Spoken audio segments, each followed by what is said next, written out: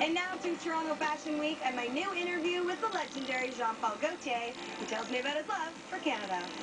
Why do you think it's important for cities like Toronto to have their own fashion week? I think that it can make Canadian people have to make their own creation and to show it and to make a little zoom on the city, the talent that can after can become like international. Jean-Paul Gaultier has never played it safe on the runway, and when it comes to choosing models for his shows, one of his favorites just happens to be a Canadian.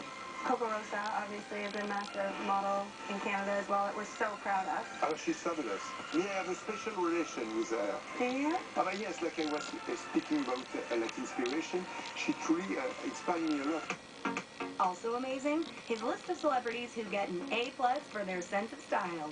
There's Gigi, uh, of course, that everybody speaks, uh, which is nice and beautiful, and she is like very professional. Karlie Kloss, which is like uh, fantastic. We speak about Kardashian, of course. Uh, Kim Kardashian, she's quite beautiful. In some way, I should it's positive, her shape, because it shows that not only very slim, slim, slim, slim, slim girl are beautiful, there is also beauty in some shape even if are fake. but if there's one Canadian style icon that the famed designer really admires, it's Celine Dion. What did you think of Celine Dion's um, Paris takeover?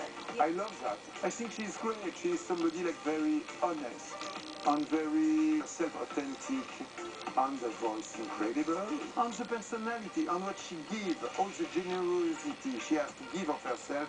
Bravo Celine. 12 points.